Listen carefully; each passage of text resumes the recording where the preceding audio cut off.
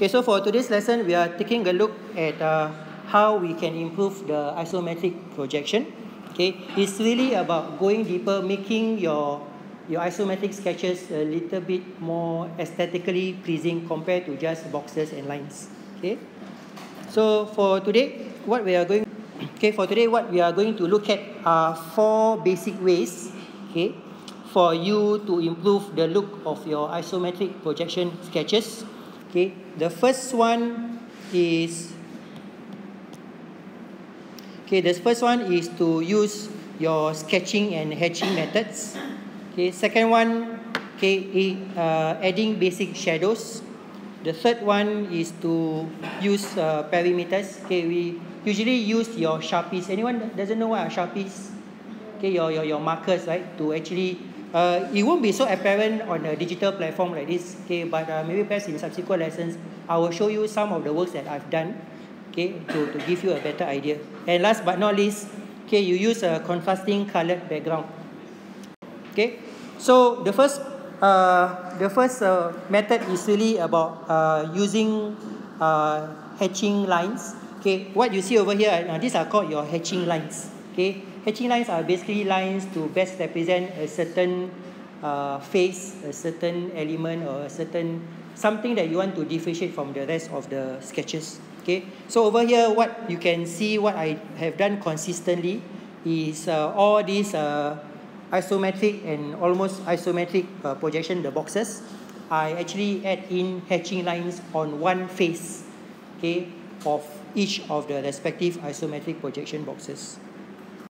Okay, so over here I have already uh, what you call uh, drawn some isometric uh, diagrams. Okay, so it's really about then how to move on from here.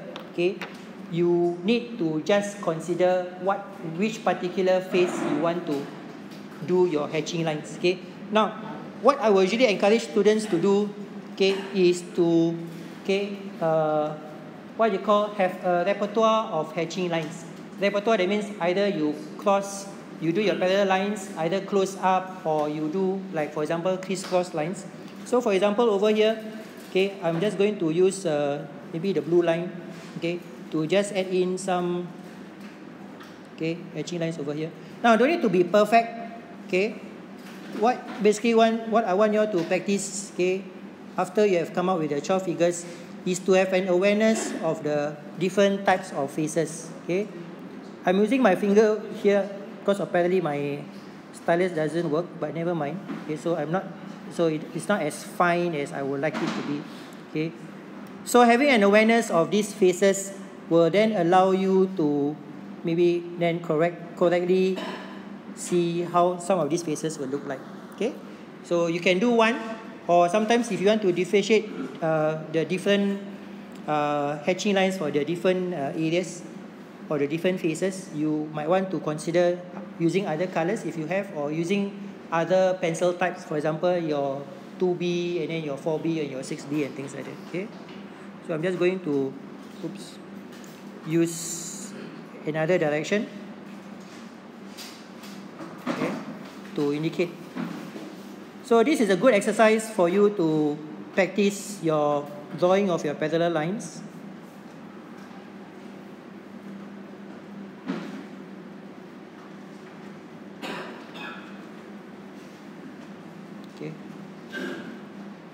Okay, so this is one. Okay, now moving on.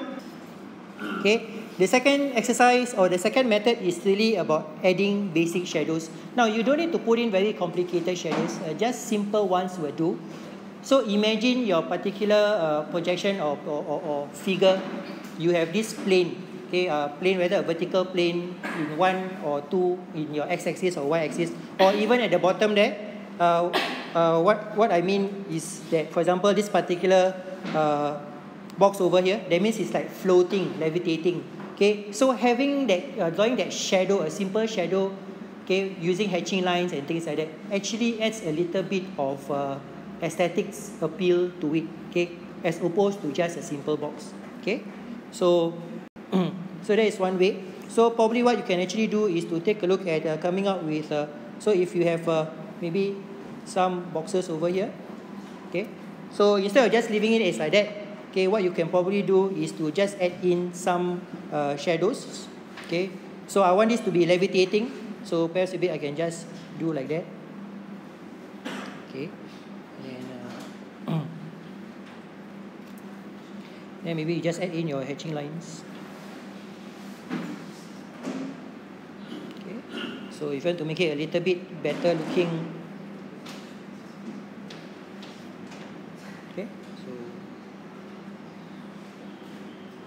Okay, so basically that. So your shadows can either be at the bottom or at the side or one side or the other side. So it's really about adding some depth to your entire uh, isometric projection.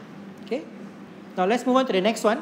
Okay, the the third method is actually uh, pretty simple. Uh, this is a method that I also encourage you. So if you can probably invest in some sharpies, uh, okay, no need to be the the just get the those uh, I think 0.5 or 0.7 okay? So as you draw your boxes okay in uh, using your pencil you can probably add in the sharpies later on to so called make your sketches a little bit nicer okay? So for a simple box like this okay maybe I change the opacity a little bit okay? So probably if you have something like this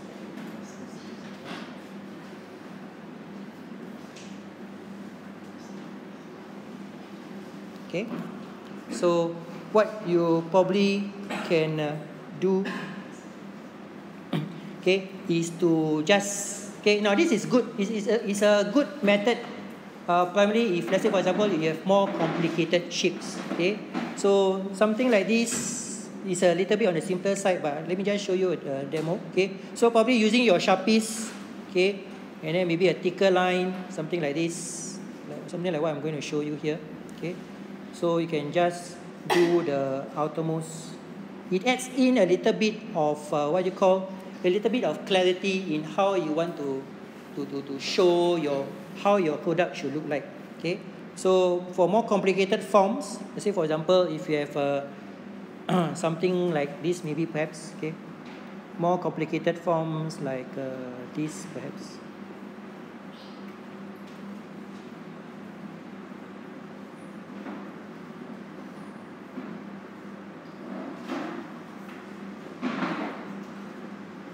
okay? So this one is a little bit offset okay?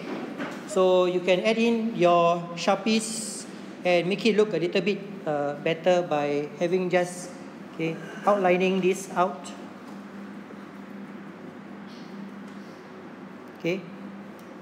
To have some form of clarity in how the whole thing looks like okay? Uh, so this is one of the simpler methods okay for you to do that okay? Now finally how you can also uh, add some more aesthetics appeal to your sketches is really to just have some solid background. Okay. Uh, uh, now this is primarily more useful if, for example, if your sketching app or the tool that you are using have layers, okay, in the app itself. Okay. Now usually in the olden days when there's no digital platform, people will use different sets of paper okay, facing paper and all that, they will cut out and then they will just paste on top of the main paper, okay. But for a digital platform like this, it's actually uh, not too bad. It's actually easier for you to do, okay. So if you have some objects like this, if you want to just create a little bit more of an interesting perspective, okay, you can add in a solid color background, okay. So what I will encourage my students to do is to just have some, okay, oops maybe just some little interesting background like this okay? And then just add in some colors okay? Probably I'm going to use this okay? To add in some colors okay? Some solid color to this okay? You probably need to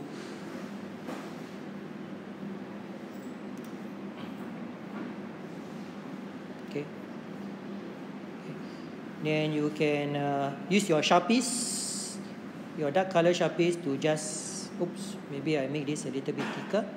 So like that. Okay?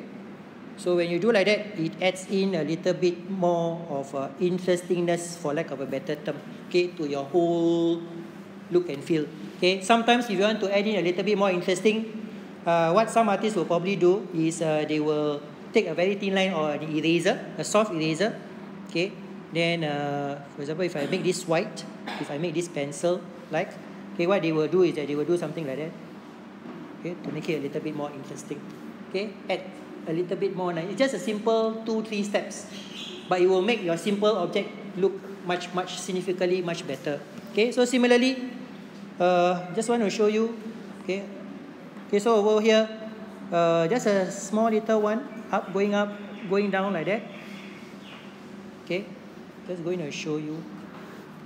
Okay. maybe I reduce the opacity a little bit. Make it a little bit more interesting. Okay so something like that. Okay forgive me for the out of the thing because I don't have my stylus here. Oh my stylus doesn't work today. You know why? Okay. So I'm just going to delete the sides. Okay. Okay and then uh, take your sharpies. Black it's usually it's usually of a darker color not necessarily be black okay? But it's bold enough to create that differentiated look when you are okay? So just something like that okay? If you want to make it nicer like what I mentioned to you just now so you can reduce the opacity a little bit okay? So this is a little bit like that okay? So I'm going to do I'm just going to add okay? Can? So okay? Something doable with all of you? Okay? Uh, you probably use a color pencil and then you just use your white color pencil. Uh, this is where uh, your white color pencil you know, your, people always ask you know what's the use of the white color pencil? So apparently is one of the better methods or one of the better uses okay of a white color pencil okay in this particular context okay? So okay your next exercise uh, ladies and gentlemen if you can okay if you're interested to do I would really uh, like to okay, get all of you to work on again the 12 or you can just use the same 12 figures that you have done okay and then just apply all the four uh, methods that I just uh, mentioned to you okay. Uh, see the significant difference. If you can if you pho- can photocopy or photostat your the 12 figures and then you just do all the four methods that I mentioned to you I think you can see a significant improvement in the aesthetics appeal of your 12 figures. Okay? Okay? Okay, so in summary, so it's really about adding shadows, hatching lines, outlines, backings. Okay, these are really good ways to improve the quality of your sketches. Okay, so the basic idea here is really to add some depth, okay, or some height to all your sketches. And uh, lastly, okay, now try to avoid putting all these four things into one particular sketch. Okay, it will make your just like putting on a makeup uh, on the same face. Okay, it will make your thing instead of making it a little bit more appealing, it becomes to the point of making it a little bit more much uglier than you know when you don't apply this four. Okay, so use it sparingly. Use one or two, and then I think you are on your way to making your cubes and isometric projections uh, that much better looking.